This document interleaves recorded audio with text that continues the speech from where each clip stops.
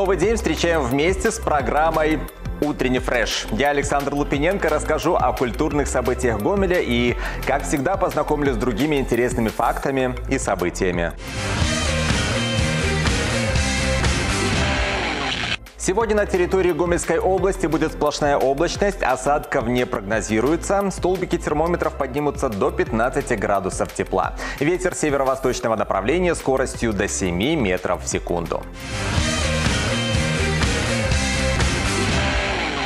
Мир семьи. К запуску в Гомеле готовится проект, который позволит семьям, оказавшимся в трудной ситуации, реализовать право на участие в информационной встрече с медиатором на безвозмездной основе. Главная цель проекта – сохранение семьи и восстановление отношений между супругами. Медиатор поможет участникам конфликта справиться с негативными эмоциями в затянувшейся семейной истории и перевести их в конструктивное русло. Проект стартует 3 июня в отделе ЗАГС Гомельского горосполкома на улице Ирининская, 11. Альтер Эго. Выставка под таким названием открылась в Музее истории города Гомеля. На ней портфолио топ-модели Катерины Дубицкой. Выставка собрана из 25 работ пяти фотографов, с которыми чаще всего сотрудничала Катерина. На счету участницы многих проектов уже более 100 показов мод в Беларуси и за ее пределами. Модель представлена в самых разных образах, которые демонстрируют грани ее характера. Фотографы, с которыми работает Катерина, через разные ракурсы и авторские взгляды преподносят миру ее альтер-эго. Выставка организована по итогам одного из конкурсов красоты. 3 июня в картинной галерее Ващенко можно будет познакомиться с новым художественным проектом «Время перемен. Включение». Он организован совместно со школой Игоря Ягодкина «Ключ». Новый арт-проект реализуют в формате конкурса, участники которого могут ярче представить свое творчество. На выставке будет более 200 работ, созданных за минувшие два года. Гости галереи могут отметить понравившиеся, проголосовав за них. Участие каждого посетителя станет вкладом в творческий процесс проекта проекта. К слову, голосование также предоставляет право на участие в розыгрыше призов, который состоится на закрытии проекта 1 июля. Собрании археологии музея Гомельского дворцово-паркового ансамбля есть инвентарь настольных игр и детские игрушки. Они были найдены на территории Гомеля, Лоевского и Добружского районов. Эти артефакты датируются от конца 10 до начала 20 столетия.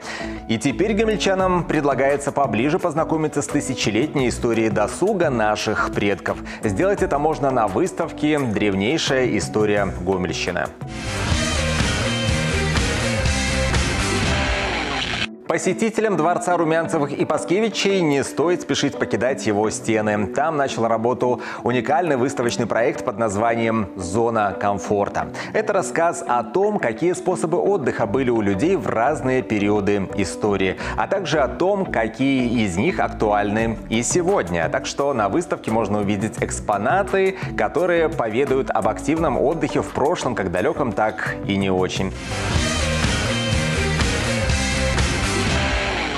А в картинной галерее Гавриила Ващенко открыта выставка «Неизвестный Ван Гог». Мастер написал более двух тысяч произведений. Самые известные среди них, которые знакомы широкой публике – «Ирисы», «Подсолнухи», «Звездная ночь». На выставке можно увидеть как знаменитые сюжеты, так и малоизвестные, но не менее великие картины.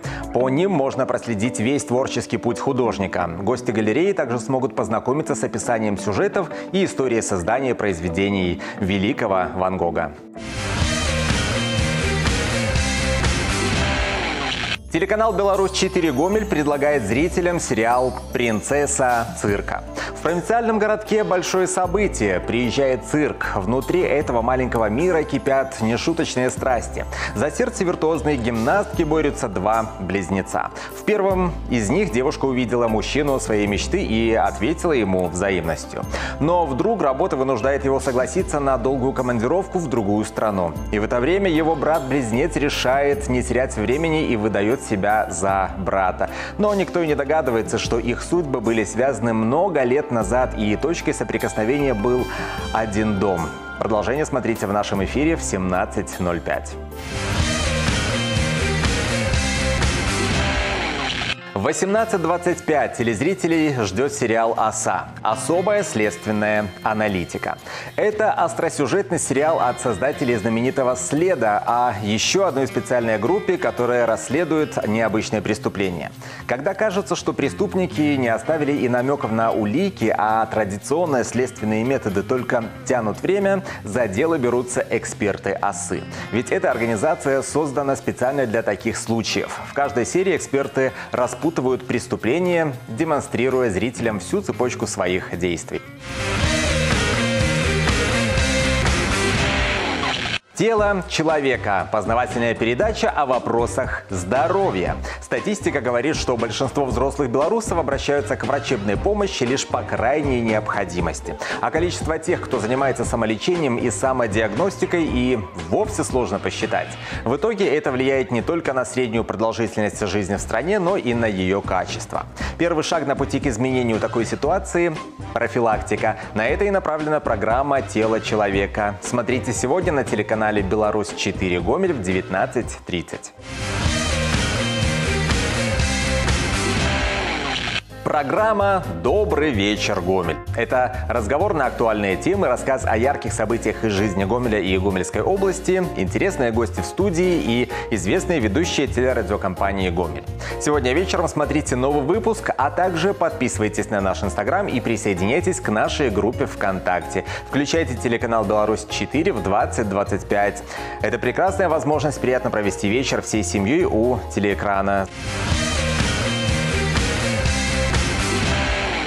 И немного о братьях наших меньших. Парк дикой природы в Австралии празднует рождение куалы. Казалось бы, что в этом такого? А то, что это первый детеныш куалы после разрушительных лесных пожаров, в которых погибло более одного миллиарда животных. Однако теперь первый рожденный в этом сезоне малыш выглянул из маминой сумки, чтобы сказать миру «привет». Работники парка считают, что это событие – знак надежды на светлое будущее дикой природы Австралии. Осьминог попал в объектив автоматической камеры на глубине почти 7 километров. Все это дело происходило в Индийском океане. На сегодняшний день это самый глубоководный снимок головоногого.